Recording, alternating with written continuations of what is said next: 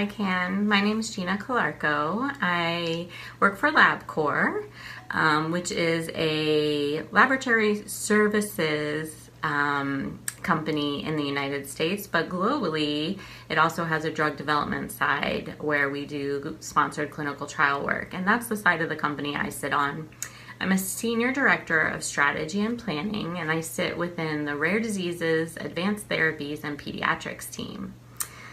So, I what that means is I help um, develop operational strategies, how we conduct clinical protocols um, in pediatric and rare disease populations. Um, my background is I am a pediatric nurse. I began my career in the neonatal intensive care unit. Um, and most of my career has been spent in the pediatric space, um, and the last almost 20 years within uh, clinical trial work.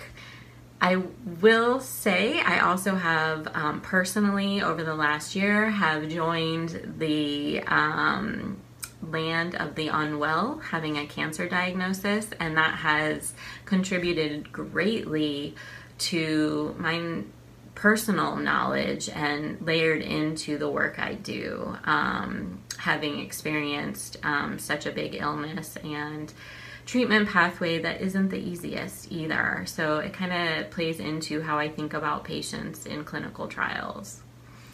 Um, I I'll say that I haven't always viewed myself as a leader. Um, I think I stumbled into leadership just by following my passion area of pediatrics and clinical trial work. Um, I at various times in my career path, I made conscious decisions that were fully based on what I like to do. And in one instance, I even took a pay cut in order to get back to pediatric clinical trial work. Um, so I never, I I truly believe that if you do what you're passionate about, it becomes easy and fun, and your career pathway can open up relatively easily, as it did for me. So that's kind of how I think I fell into leadership as well, was following my passion and becoming an expert in what I love to do. And that expertise has has led to leadership roles um, in my organization and, and externally as well um, a lot a lot kind of came into I as I said I really feel like probably over the last five to ten years is when I finally recognized that I'm a leader in pediatric clinical trial space and within my company and um, what that means. So for me, um, I respond best um, to quiet leadership, and I would classify myself as kind of a quiet leader.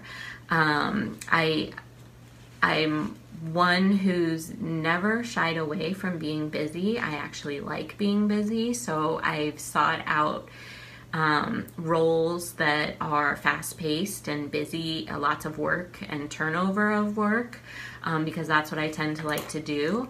But as I was developing my career, that came out in the way of being a helper. Asking whoever was around if I had a, um, a quiet time in my work day or week, um, asking others how I can help them, whether it be administrative tasks, stocking, tasks below me, tasks above me.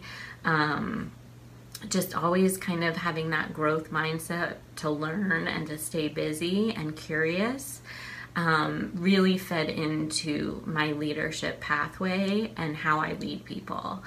Um, I, I really think those are important traits of a leader to stay curious, to be helpful, um, and mindful of the people you're working with and around, whether they're below you or above you, um, or your direct counterpart.